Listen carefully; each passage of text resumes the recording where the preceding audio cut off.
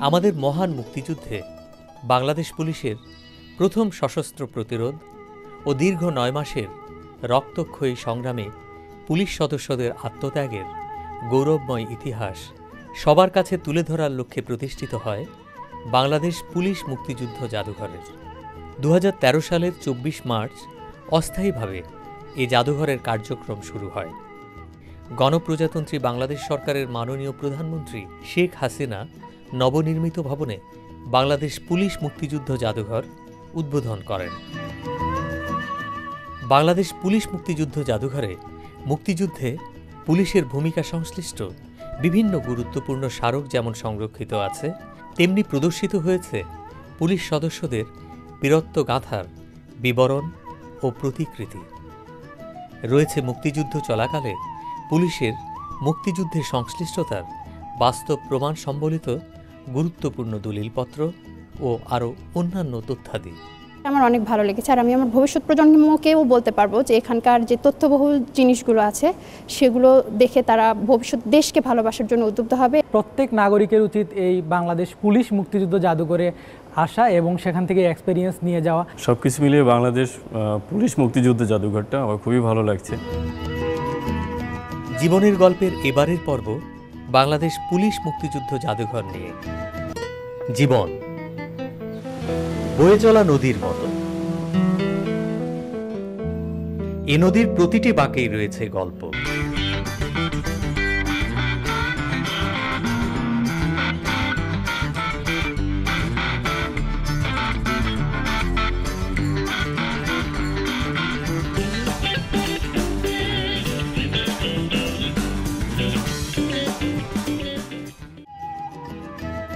প্রথমেই আমরা আমাদের সঙ্গে পাই বাংলাদেশ পুলিশের অতিরিক্ত ডিআইজি হাবিবুর রহমানকে।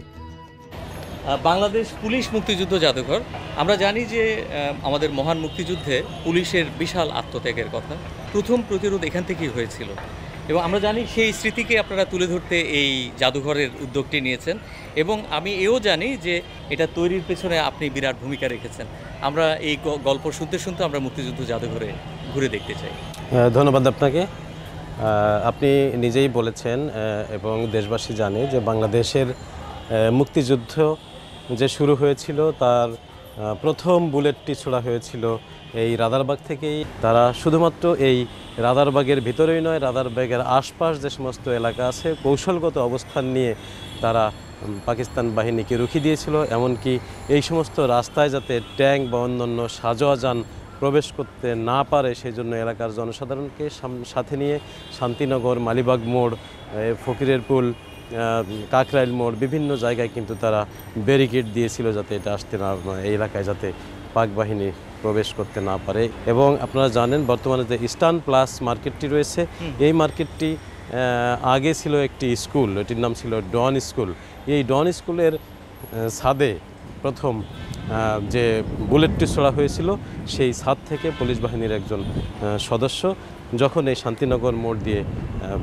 আর্মির গাড়ি এই রাদারবাগের অভিমুখে আগুয়ান হচ্ছিল, ঠিক সেই সময় প্রথম বুলেটটি ছড়ে সেখান থেকে এবং সেই বুলেটের আঘাতে পাকিস্তানি বাহিনীর একজন অফিসার আহত হয়, যেটি আমরা পরবর্তীতে পাকিস্তানি বাহিনীরই বেতার কমিউনিকেশন যেটি আমাদের কাছে রেকর্ড করা রয়েছে, সেটির মাধ্যমে আমরা জানতে পেরেছি। এছাড়া আমাদের পাশে যে টিএনটি কলোনি রয়েছে টিএনটি কলোনির ছাদ থেকে এবং কলোনির বিভিন্ন জায়গা থেকে প্রতিরোধ গড়ে তোলা হয়েছে, যুদ্ধ হয়েছে, পুলিশের সদস্যরা সেখানে আহত হয়েছিলেন, নিহত হয়েছিলেন অনেকে। যারা প্রথমে রাদারবাগে সংগঠিত করেছিলেন, তাদের ঐক্যবদ্ধ করে পরবর্তীতে আমরা এই জাদুঘর নির্মাণের পর্যায়ে প্রবেশ করি। আমাদের পরবর্তী প্রজন্মকে জানার জন্য যে বাংলাদেশ পুলিশের ইতিহাস এবং সঠিক ইতিহাস তুলে ধরার একটি প্রত্যয় নিয়ে আমরা এই মুক্তিযুদ্ধ জাদুঘর তৈরি করেছি, যেখানে প্রতিটি পর্যায়ে পুলিশের যে ভূমিকা ছিল সেটি বিস্তারিত উল্লেখ করা হয়েছে এবং বিভিন্ন উপকরণ এখানে রাখা হয়েছে। আমাদের এটির দুটি অংশ রয়েছে। আমরা ওপরের যে অংশটি, আমাদের জাতির পিতা বঙ্গবন্ধু শেখ মুজিবুর রহমান কে নিয়ে আমরা শুরু করেছি। এখানে বঙ্গবন্ধুর পিতৃপুরুষের যে বাড়ি সেটি থেকে এখানে যে ভবনটি দেখা যাচ্ছে, এটি তার পিতৃপুরুষের বাড়ি। আমাদের দশ জানুয়ারি সেটির ছবি এবং এরপর থেকে তিনি সরকার গঠন এবং বিভিন্ন প্রোগ্রামে দেশে বিদেশে তার যে কার্যক্রম ছিল, সেই কার্যক্রমের বিভিন্ন ছবি আমরা এখানে সংযোজন করেছি এবং প্রতিটির সাথেই যেমন ইতিহাস রয়েছে, পাশাপাশি আমাদের কিন্তু একটি কবিতা তার সাথে রাখা আছে। আমরা এদিকে আরও অনেকগুলো ছবি হ্যাঁ, দেখতে পাচ্ছি। এরপরে আমরা জাতির পিতার বিশেষ বিশেষ যে ছবিগুলো মুক্তি সংগ্রামের বিভিন্ন পর্যায়ে একপাশে আমরা একটি পত্রিকার কাটিং সেই সময়ে যে বিশেষ বিশেষ যে খবরগুলো ওই সময় প্রকাশিত হয়েছিল, স্বাধীনতা সংগ্রামের উপরে, স্বাধীনতা ঘোষণা এবং বিভিন্ন বিষয়, সেটি আমরা এখানে পত্রিকার কাটিংগুলো রেখেছি। সাত মার্চের ছবি যেটি বাঙালি জাতির প্রেরণার উক্তিগুলো যেখানে ছিল এবং বাঙালি জাতি, যোদ্ধা জাতিতে পরিণত হয়েছিল যে একটি ভাষণে, যেটি ইতিমধ্যে আপনারা জেনেছেন যে ইউনেস্কো কর্তৃক বিশ্ব প্রামাণ্য দলিল হিসেবে স্বীকৃতি পেয়েছে। সেটি রেখেছি এবং সেটির একটি ভিডিও চিত্র কিন্তু আমরা এখানে রেখেছি। এবং শুধু সেটি নয় এবং বাংলাদেশের স্বাধীনতার পরে একটি পুলিশ সপ্তাহ হয়েছিল। সেই পুলিশ সপ্তাহে এই পুলিশের উদ্দেশ্যে তিনি যে বক্তব্য দিয়েছিলেন সেটির ভিডিও চিত্র সহ বিভিন্ন ভিডিও চিত্র আমরা এখানে রেখেছি।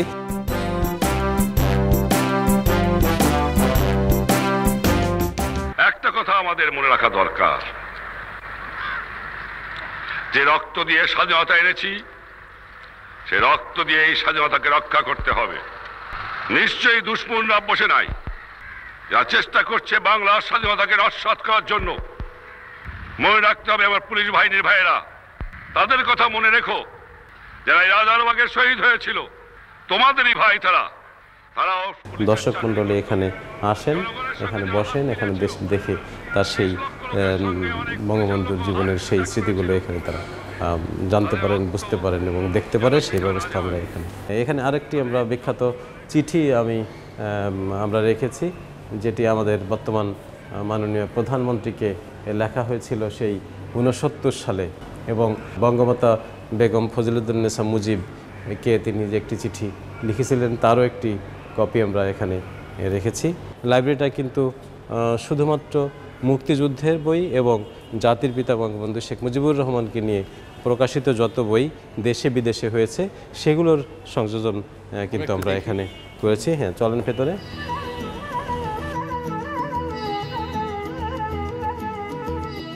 আমরা এখানে একটি ই লাইব্রেরি আমাদের এখানে আছে। এখানে কয়েকটা কম্পিউটার আছে আপনারা দেখতে পাচ্ছেন। সেখানে সবসময় ইন্টারনেট সংযোজন করা থাকে এবং দর্শক বা পাঠকরা এখানে আসলে ইচ্ছে মতো তাদের বই অর্থাৎ সারা বিশ্বব্যাপী যদি পড়ার ইচ্ছা থাকে এখানে এসে তারা এই লাইব্রেরির মাধ্যমে পড়তে পারবে। আর একটি ছবি রেখেছি যেটি জাতির পিতা বঙ্গবন্ধু শেখ মুজিবুর রহমান যে তার পারিবারিক লাইব্রেরি বাসার লাইব্রেরিতে যে তিনি পড়াশোনা করতেন সেই একটি ইনফর্মাল পোশাকে তিনি বসে বই পড়ছেন। আমরা এই ছবিটা এখানে সংযোজন করার পেছনে একটি উদ্দেশ্যও রয়েছে। তিনি এভাবে পড়াশোনা করতেন। সুতরাং আমাদেরও পড়াশোনা করা উচিত আমাদেরও পাঠ্যাভ্যাস গড়ে তোলা উচিত আমাদেরও লাইব্রেরি ওয়ার্ক করা উচিত।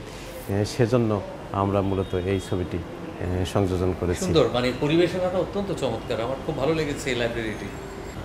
মোটামুটি কথা হচ্ছে যে এই উপরের যে অংশটা আমরা দেখলাম এর মধ্যে বঙ্গবন্ধুকে নানাভাবে তুলে ধরার চেষ্টা করা হয়েছে। এবং একটি লাইব্রেরির মাধ্যমে বঙ্গবন্ধু এবং মুক্তিযুদ্ধকে তুলে ধরা হয়েছে। সেখানে আমি বলেছি যে বঙ্গবন্ধুর সকল বই অর্থাৎ বঙ্গবন্ধুকে নিয়ে যে সমস্ত বই লেখা হয়েছে বাংলাদেশের মুক্তিযুদ্ধ মুক্তি সংগ্রামকে নিয়ে যে সমস্ত বই লেখা হয়েছে সেগুলোর সমাবেশ ঘটনা হয়েছে। আর যে নিচের অংশটি রয়েছে সেটি হলো পুলিশের বিভিন্ন পর্যায়ে মুক্তিযুদ্ধে যে ভূমিকা ছিল সেটি নিয়ে আমাদের মূল ডিসপ্লেটা নিচে। এবং আমি অনুরোধ করব আপনার সাথে পরিচয় করিয়ে দিই আমাদের পরিচালক আবিদা সুলতানা এবং সহকারী পরিচালক সাদিয়া আফরিন আপনাকে নিচের অংশটুকু প্রেজেন্ট করবে। আপনাকে অসংখ্য ধন্যবাদ আমাদের সময় দেওয়ার জন্য। আপনাকেও ধন্যবাদ। ধন্যবাদ বাংলাদেশ টেলিভিশন কর্তৃপক্ষকে।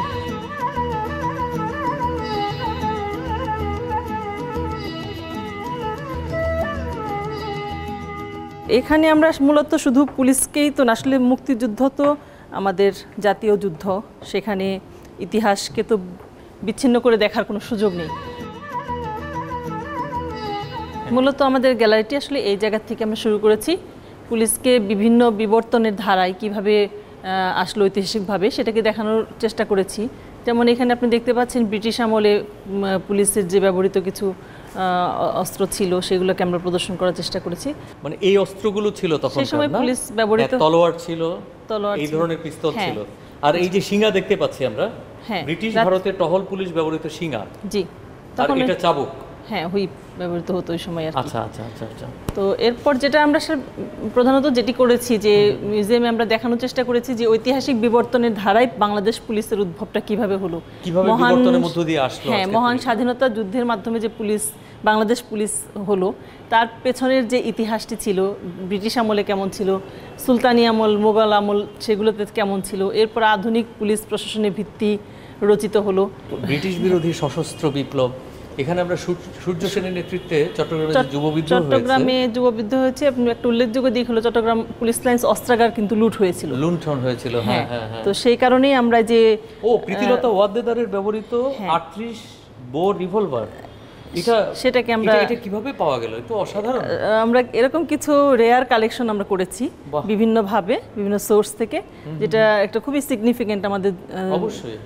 ব্রিটিশ বিরোধী আন্দোলনে মানে এরকম কোনো কিছু যে থাকতে পারে এটা আসলে আমারও চিন্তার বাইরে কিন্তু। এরপর আমাদের যে বিভিন্ন সংগ্রাম আন্দোলন সংগ্রাম চুয়ান্ন নির্বাচন আটান্ন সামরিক শাসন বাষট্টি শিক্ষা আন্দোলন সেটাকে আমরা নিয়ে এসেছি। গণ দফা, এগারো দফা, গণ অভ্যুত্থানকে নিয়ে আসার চেষ্টা করেছি। নির্বাচন। সত্তর নির্বাচন। দেখেন পুলিশের একটা উল্লেখযোগ্য ভূমিকা ছিল যেটা অনেকেই হয়তো জানেন অসহযোগ আন্দোলনে। যে মুভমেন্ট ছিল সেখানে একটা উল্লেখযোগ্য দিক যে তখন কিন্তু পুলিশ যে পাকিস্তান গভর্নমেন্টের অনেক অর্ডার কিন্তু সরাসরি মানছিলেন না। যে কারণে এই রাও ফরমান আলী তিনি তার লেখায় বলেছেন যে পুলিশ প্রধান সবার আগে বাহিনীর আহ, পাকিস্তানের পক্ষ ত্যাগ করে আওয়ামী লীগের ক্রীড়নকে পরিণত হয়েছিল।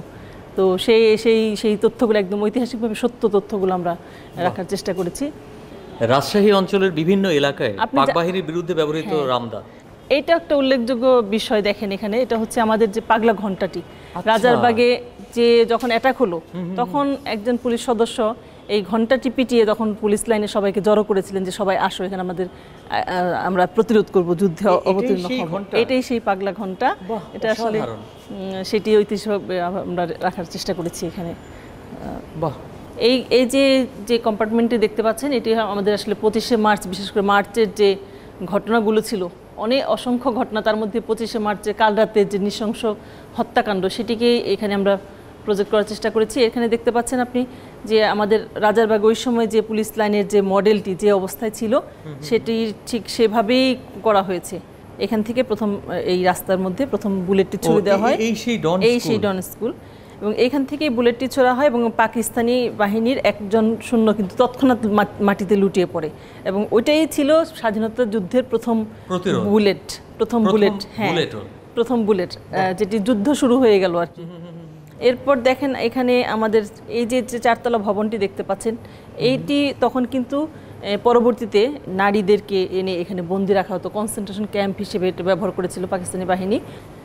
আমাদের সেই সময়কার যে আইজিপি ছিলেন তিনি কিন্তু গ্রে লিস্টেড হয়েছিলেন। তার ভূমিকার কারণে পাকিস্তান তাকে চাকরি থেকে চ্যুত করে এবং তাকে গৃহবন্দির মতো রাখা হয় আর কি। মর্টার শেল ব্যবহার হয়েছিল সেদিন রাত্রে। সেই মর্টার শেলের যে এমটি শেড আমাদের আছে সেখানে ক্ষত চিহ্ন এখনও পর্যন্ত এটা সেভাবেই আছে। হ্যাঁ এভাবেই আছে। সেটার প্রমাণ যে মর্টার শেলে সেদিন ব্যবহৃত হয়েছিল। ওয়ারলেস সেট যেটি অত্যন্ত গুরুত্বপূর্ণ যে ওয়ারলেস সেটটির মাধ্যমে আমাদের স্বাধীনতার সেই প্রথম যে ইয়ে হলো আক্রান্ত হলো রাজারবাগ আক্রান্ত হলো সেই আক্রান্তের খবরটি সারা বাংলাদেশে সমস্ত পুলিশ। ইউনিটগুলোকে জানিয়ে দেওয়া হয়েছিল এবং এই সেই ওয়ারলেস এই সেই ওয়ারলেস সেট এই সেই থ্রি নট থ্রি রাইফেল যেটি দিয়ে পুলিশ প্রথম প্রতিরোধ যুদ্ধের সূচনা করে এবং সেই সময় ব্যবহৃত আমাদের কিছু অস্ত্রের দৃশ্য আপনি দেখতে পাচ্ছেন। সূত্রাপুর থানার সাব ইন্সপেক্টর ছিলেন সার্জেন্ট সাবাদ সাবেদ দেওয়ান ছিলেন। এরকম অসংখ্য পুলিশ সদস্য। আসলে সবাইকে প্রজেক্ট আমরা করতে পারিনি আমরা সিম্বলিক কিছু কিছু রেখেছি। রাজশাহীর একজন ডিআইজি জনাব মামুন মাহমুদ এবং পুলিশ সুপার জনাব শাহ আব্দুল মজিদ। দুজনকেই কিন্তু পাকিস্তানি হানাবদার বাহিনী ধরে নিয়ে যায় বাসা থেকে ডেকে নিয়ে তাদেরকে গায়েব করে দেওয়া হয় এবং তাদের আর কোনো ট্রেস পাওয়া যায় না এবং তাদের লাশ কিন্তু কখনোই আর পাওয়া যায়নি। কিন্তু হ্যাঁ রাজশাহী। দেখেন ট্রেন্স কেটে রাখা হয়েছিল এরকম যাতে পাকিস্তানি বাহিনী অ্যাটাক করতে মানে ঢুকতে না পারে। পারে। ইলেকট্রিক ফেন্সিং দেওয়া হয়েছিল এবং এখান থেকে একদম রীতিমতো যুদ্ধ পরিচালিত হয়েছে এই রাজশাহীতে। কুমিল্লাতেও আমাদের পুলিশ সুপার কুমিল্লা ছিলেন জনাব মুন্সি কবিরুদ্দিন। ওনাকেও বাসার থেকে ওনার এখানে প্রতিরোধ যুদ্ধ হয়। প্রথম দিন ছাব্বিশে মার্চ সাতাশে মার্চ তারা প্রবেশ করতে পারে না। পরের দিন তাকে নিয়ে যাওয়া হয় এবং কুমিল্লার একই সাথে ডিসিকেও নিয়ে যাওয়া হয়। কারণ কুমিল্লা ক্যান্টনমেন্টে তাদেরকে হত্যা করা হয়। এই দুটা বেঞ্চ খুবই গুরুত্বপূর্ণ আপনাকে বলি যে আমাদের রাজারবাগে যারা প্রতিরোধ যুদ্ধে অংশ নিয়েছিলেন এরকম দুজন আহত পুলিশ সদস্য ওনারা টেনটি কলোনিতে আশ্রয় নিয়েছিলেন।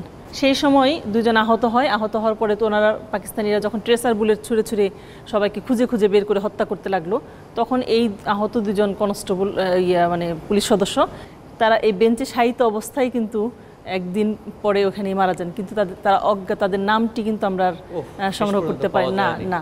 এই অবিক মানে এই বেঞ্চটি সেইভাবেই ছিল। আমরা সেখান থেকে হ্যাঁ স্মৃতি বহন করছে তারা। ওইখানেই শহীদ হয়েছিলেন আমরা সেই বেঞ্চটিকে নিয়ে এসেছি। আমাদের মুক্তিযোদ্ধা পুলিশ মুক্তিযোদ্ধাদের ব্যবহার করা কিছু দ্রব্যাদি আমরা এখানে রেখেছি। পাকিস্তান সেনাবাহিনী চোদ্দ ডিসেম্বর হাসপাতালে ঢুকে ব্যাপক ভাঙচুর চালায় ফলে অনেক সামগ্রীর মতো এই অনুবীক্ষণ যন্ত্রটিও ব্যবহারের অনুপযোগী হয়ে পড়ে। মুক্তিযুদ্ধকালীন সময়ে পুলিশ হাসপাতালে ব্যবহৃত সেই অনুবীক্ষণ যন্ত্র এটি। আমাদের যে শহীদ পুলিশ সদস্য সাতশো একান্ন জন যেটি আমি বলেছি তাদের নামের তালিকাটি দেয়া- আছে জি।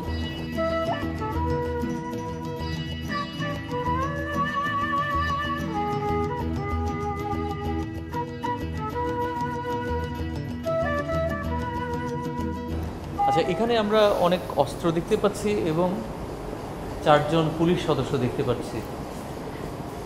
আমি প্রথমেই আপনাকে বলেছিলাম যে আমরা ঐতিহাসিক বিবর্তনের ধারায় পুলিশ বাংলাদেশ পুলিশ যেটি মুক্তিযুদ্ধ মহান মুক্তিযুদ্ধের মাধ্যমে বাংলাদেশ পুলিশের যে উদ্ভব হলো তার পেছনের যে ইতিহাসটি ছিল সেটাকেই সিম্বলিকভাবে উপস্থাপন করেছি। জি উপস্থাপন করেছি যে বিবর্তনের ধারায় পুলিশ কীভাবে পোশাকের পরিবর্তন আসলো। এবং আপনি জেনে খুশি হবেন যে ঠিক সতেরো ডিসেম্বর তারিখে উনিশশো একাত্তরে পুলিশের জন্য ড্রেস রুলের স্বাক্ষর করেছিলেন আমাদের তৎকালীন আইজিপি বাংলাদেশ স্বাধীন বাংলাদেশের প্রথম আইজিপি আব্দুল আব্দুল খালেক। ওনার স্বাক্ষর করা যে ড্রেস রুলটি সেই সেই বলেই কিন্তু এই পোশাক। এই সেই চিঠি যেটি আপনি দেখতে পাচ্ছেন আমাদের প্রথম ইন্সপেক্টর জেনারেল বাংলাদেশ পুলিশের ওনার নিজের হাতে লেখা চিঠিটি উনি তখন উদাত্ত আহ্বান জানিয়েছিলেন বাংলাদেশ পুলিশের সকল সদস্যদেরকে যে আপনারা পাকিস্তান সরকার পক্ষ ত্যাগ করে বাংলাদেশ পুলিশে যোগদান করেন এবং আপনারা দেশের পক্ষে যুদ্ধ যুদ্ধে শরিক হন। এবং তার নিজের হাতের লেখা মানে চিঠিটি ছিল সেই চিঠি না? হ্যাঁ তখন প্রচার হচ্ছিল। বাংলাদেশের বীর পুলিশ ভাইরা সাড়ে সাত কোটি নিরস্ত্র বাঙালি আজ মরিয়া হয়ে ইয়াহিয়া খানের সশস্ত্র বাহিনীর বিরুদ্ধে সংগ্রামে ঝাঁপিয়ে পড়েছে। আমরা বাংলাদেশের সন্তান আমরা বাঙালি। আমরা বাংলাদেশের পুলিশ আমরা মুক্তিযোদ্ধা। বাংলাদেশের স্বাধীনতা রক্ষা করার দায়িত্ব আমাদের। চিঠির শেষ প্যাড়ায় লেখা আছে আমরা একথায় মনে রাখব যে আমরা বাংলাদেশের সন্তান বাংলাদেশের স্বাধীনতার সংগ্রাম আমাদের বাঁচার সংগ্রাম। আমরা লড়ছি সত্যের জন্য ন্যায়ের জন্য। এই সংগ্রামে আমরা জয়ী হবই। জয় বাংলা। মানে প্রতিটি কথায় আসলে ওনার মানে এত সুন্দর করে উনি বলেছেন। যে কারণে আমাদের প্রায় চোদ্দ হাজার পুলিশ কিন্তু ইয়ে থেকে চাকরি থেকে কুইট করে তারা বিভিন্নভাবে মুক্তিযুদ্ধের সাথে যুক্ত হয়। ষোলো এপ্রিল শুক্রবার বিকেলে চট্টগ্রাম শহরের কোনো প্রত্যক্ষদর্শী যদি শহরের রাজপথের খোলা একখানি জিপ গাড়ির সামনে দুহাত দুদিকে দিয়ে বিধ্বস্ত একটা লোককে বাধা অবস্থায় হানাদার দস্যুদের গাড়িতে ঘোরাতে দেখে থাকেন তবে তিনি নিশ্চয়ই বিবস্ত্র লোকটার উপর খড়িমাটি দিয়ে সাদা অক্ষরে লেখা কটিও পড়ে থাকবেন। কোতোয়ালি ওসি খালেদ অ্যারেস্টেড উনি শহীদ এস আই শিরু মিয়া। ওনার ছেলেকে এবং ওনাকে একসাথে রাজাকাররা ধরিয়ে দেয়। উনি মোহাম্মদপুর থানা সাব ইন্সপেক্টর ছিলেন এবং ওনার বাসায় গোপনে পোস্টার লেখার কাজ হতো। উনি স্বাধীনতা যে স্বাধিকার যে আন্দোলন সেখানে সাথে যুক্ত ছিলেন। বঙ্গবন্ধুর কাছে গোপন তথ্য আদান প্রদান করতেন। যে কারণে তাকে পরে রাজাকাররা ধরে দেয়। ওনার ছেলে তখন ক্লাস নাইনে পড়তেন। হ্যাঁ, তিনি জেল থেকে একটা চিঠি তার মাকে লিখেছিলেন। এই ছোট্ট ছেলেটি তার মাকে লিখেছিলেন। আমরা জেলে আছি জানি না কবে ছুটব ভয় করবেন না। আমাদের উপর তারা অকথ্য অত্যাচার করেছে। দোয়া করবেন আমাদের জেলে অনেক দিন থাকতে হবে। ঈদ মোবারক কামাল। আহারে ওই যে সেই ছোট ছেলেটি তার মায়ের কাছে লিখেছিল এই মায়ের কাছে চিঠি লিখেছিল। পরে তাদের জেল থেকে নিয়ে তিতাস নদীর পাড়ে নিয়ে ব্রাশ ফায়ার করে মারা হয়। উফ। আমাদের বাংলাদেশের যে প্রখ্যাত লেখক হুমায়ুন আহমেদ এবং ডক্টর জাফর ইকবাল ওনাদের পিতা শহীদ এসডিপি ফয়জুর রহমান আহমেদ, তার নিজের ব্যবহার করা টেপ রেকর্ডার এবং ডায়েরিটি এখানে উনি এসডিপিও ছিলেন পিরোজপুর মহকুমার এবং মুক্তিযুদ্ধে তার ভূমিকার কারণে তাকে ধরে নিয়ে যাওয়া হয় এবং তাকে হত্যা করা হয়। এই এই অংশটিতে আছে আমাদের আরও কিছু যে সরকারি দাপ্তরিক পত্রাদি যেটা কলকাতা পুলিশের দপ্তর থেকে দেওয়া হয়েছিল, সেই চিঠির কিছু বাস্তব প্রমাণ যেটা এখনও সংরক্ষিত আছে, সেগুলো এখানে আমরা হ্যাং করেছি। আর এদিকে আছে আমাদের যুদ্ধে যে নারীদের অংশগ্রহণ ছিল, আমাদের বীরঙ্গনা মুক্তিযোদ্ধা নারীরা ছিলেন এবং উইমেনদের যে অংশগ্রহণ ছিল সেইগুলোর কিছু চিত্র এখানে আছে।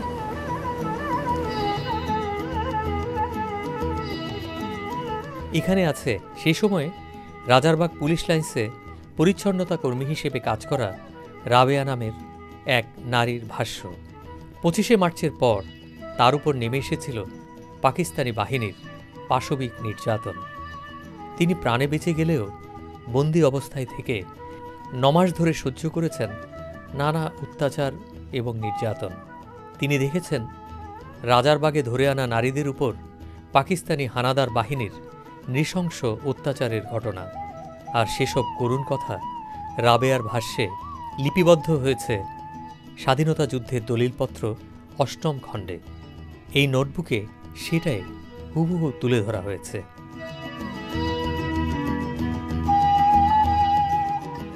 এখানে আমরা দেখছি আমাদের সাত বীর শ্রেষ্ঠের ছবি। আমরা দেখছি চোদ্দ ডিসেম্বরে হ্যাঁ। যে বুদ্ধিজীবী হত্যা হত্যার যে নীল নকশা ছিল রাও ফরমালের নিজের হাতের লেখা যে সেই চিঠি। চিরকুট সেটি এখানে আছে। বদ্ধভূমিতে যে বদ্ধভূমি আহ, যেখানে বুদ্ধিজীবীদের নিয়ে হত্যা করে ফেলে রাখা হয়েছিল হ্যাঁ। সেই জায়গা।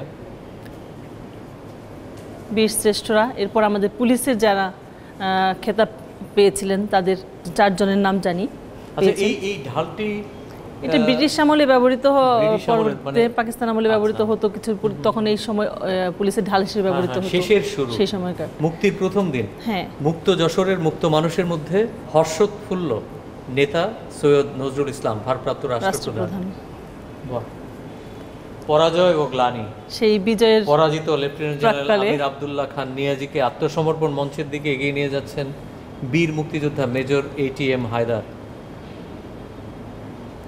তারপর আত্মসমর্পণ ও চূড়ান্ত বিজয়। ঐতিহাসিক মুহূর্ত।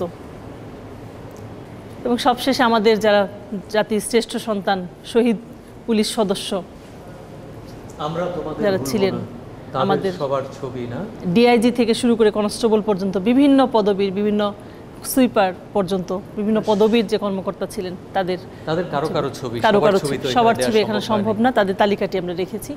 কারও কারও ছবি আমরা এখানে প্রদর্শন করেছি।